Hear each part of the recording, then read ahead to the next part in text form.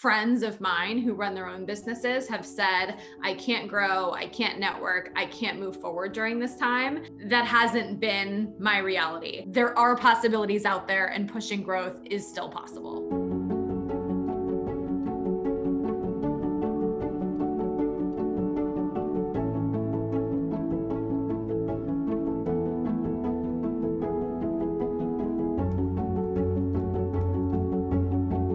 COVID hit, every one of our clients emailed us and said, Unfortunately, we can't work with you right now. Immediately, we had an all hands on deck meeting and we said, what can we do? We'd already been testing some virtual events. And so we said, you know what? Now's the time to really lean and lean in hard to these virtual events. I encourage you to continue to challenge yourself and to think of other ways that you can present that same offering and that same value to clients.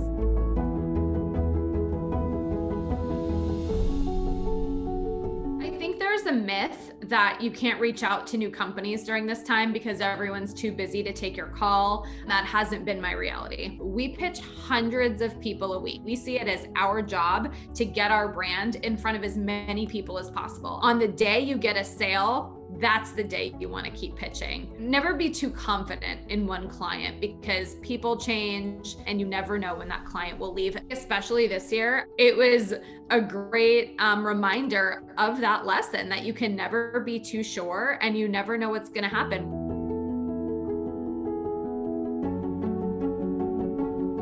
One place where I've spent the most in the past year is on technology. I spent a lot of time over the past year working with my team closely and understanding their challenges just from a workflow perspective. Was understanding what's bogging you down. We hired a database expert that could create a custom technology solution for our organization. We helped our team members get more done essentially in less time. And I think that was crucial, especially with limited resources this past year.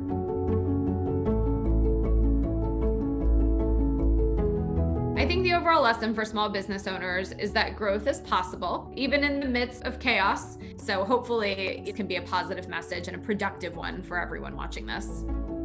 Let us know what you thought. If there's any questions, please comment below.